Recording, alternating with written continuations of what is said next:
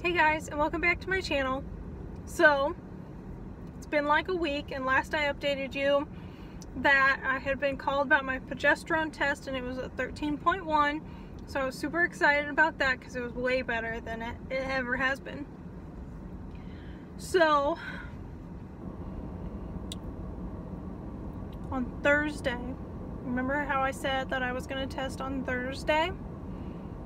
Well, here's that result.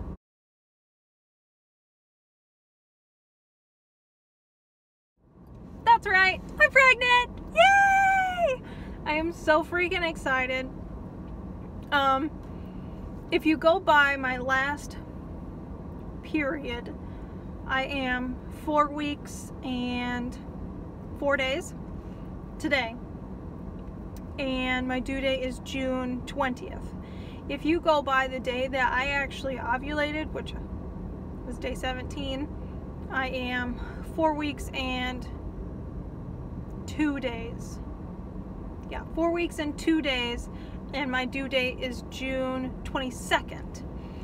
Um, which is really funny because my son's due date was June 24th, and I ended up having him on the 28th but anyway, like, like how how weird is that? That like this baby and my son are gonna be so close, like birthday wise and like conception wise and all that. Like, I don't know. I just think it's funny.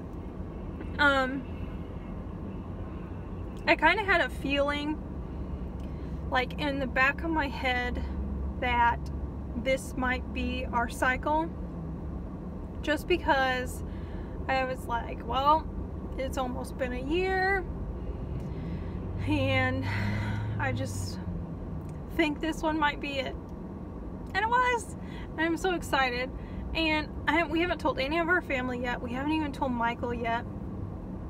Um, and I don't even go in for my first doctor's appointment until November 29th and I'll be 11 weeks, which makes me really uneasy. Like, when I got pregnant with Michael, I didn't find out until I was eight weeks along because we weren't we weren't trying. Like, we had just started dating, and we weren't trying, obviously.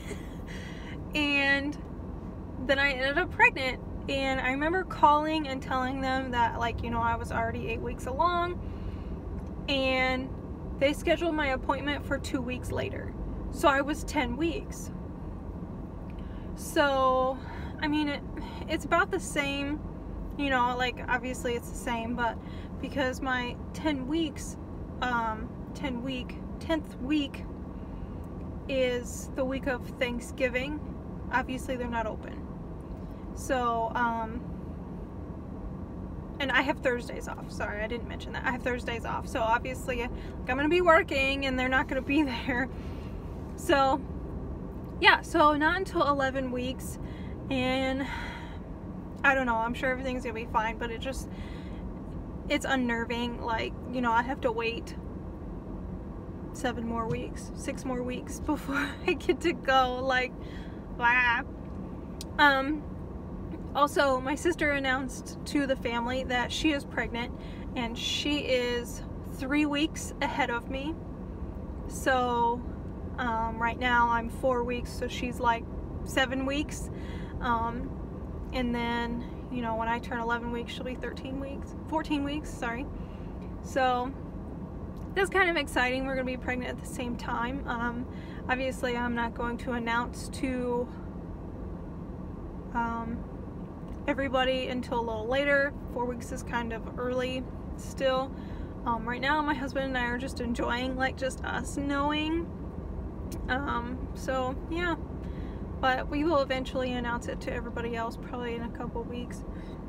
I don't really know yet, and since we haven't told Michael yet, I'm not sure what he's gonna think. I did slip up the other day though, and I said something about having a baby in my belly and Michael goes you have a baby in your belly and I was like no no no I'm just kidding no no whoops